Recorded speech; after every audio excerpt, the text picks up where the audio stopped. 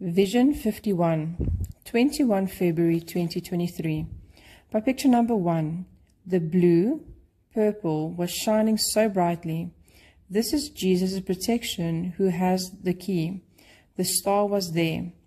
By picture number two, the blue, purple color went darker and the star moved in the depths. By picture number three, until the star moved into the depths completely. By picture number four, the dark cloud went so dark that it formed a dark hole. I was taken through the tunnel, and on the other side I saw blue light. By picture number five, there I saw the star again, and it was moving upwards.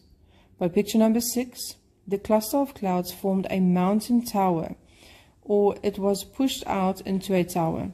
It looked like it was shining like a star. The same clouds changed into a red burning cloud, just like Vision 50. By picture number seven, the next picture, I tried to draw the best that I could remember it. I was taken in the, into the burning cluster of clouds, and I focused until I could see the burning right in front of me. Definitely our Father's wrath burning. Be careful that you do not refuse to listen to the one who is speaking.